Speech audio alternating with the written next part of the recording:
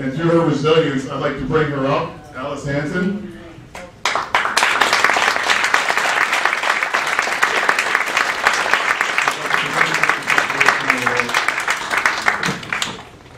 Alice, our, our absolute pleasure.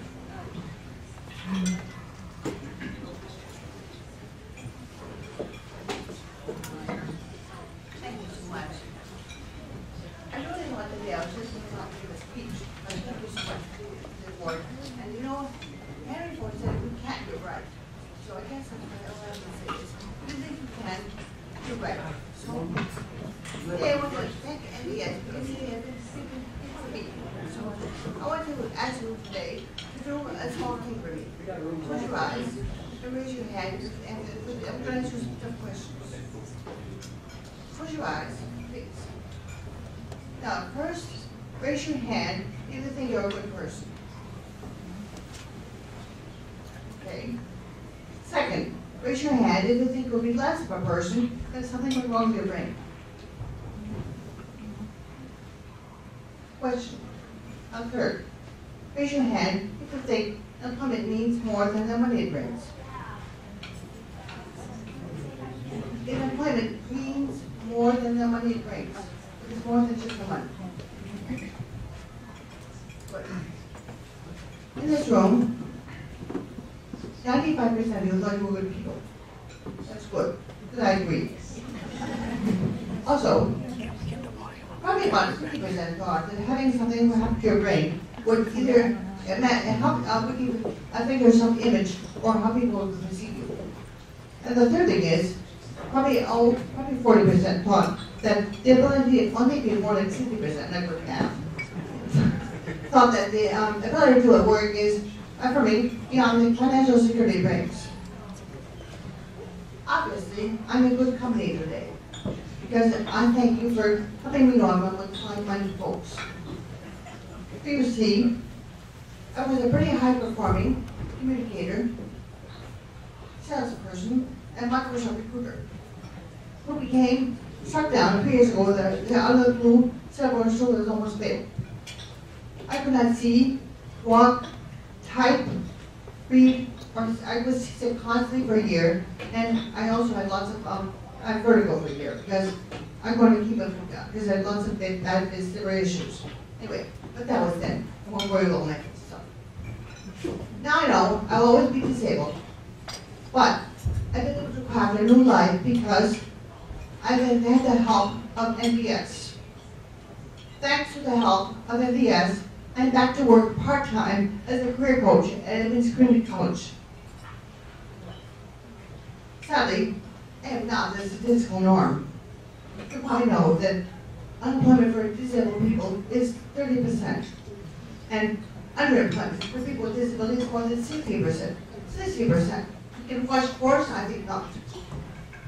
So, clearly, I would not be working except for the help and services of Alicia Hauser and NVS. Help me much in giving me a community-based assessment, a CBA. Now, a CBA is like a, um, a trial work period, and it's also like an internship. It helps you help the person, person help the person with disabilities know what they can do. It also helps us know we, what we can do for employers. Plus the contacts I made with my CBA were just critical in helping me be in the right place at the right time to meet the people I need who were able to do my current job. Can anyone hear me? I do talk a little bit fast. Okay, because I have a speech problem, so but this is like my king speech. if you heard. My, uh, my, my speech is all full of uh, chip marks, all I got need to see that. Anyway, so this is the king speech. Anyway, don't complain about work, you can't work. It.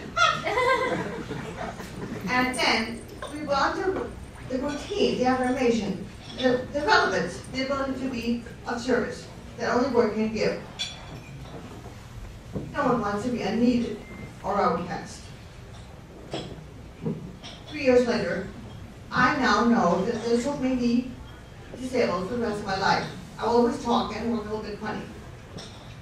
But the see like this, the vertigo, oh thank God, that's gone. And you know, I stroke always causes in terms of stamina problems. Well, that's abating. I still get a little bit um, tired, but not like I to. Everything I do is a workaround for my poor brain. I guess I would have said it before, my stroke is even worse now. Huh. And, as in the old days, the always have one got zapped with a stroke. So I can do a lot, but I cannot do it on Microsoft hours anymore. An overachiever workaholic like myself, that's been hard. Yet, working with NVS, their testing, their respectful communications, their experience in helping me see how I fit in this world with my new way of taxing speech and balance was really very key to my reemergence.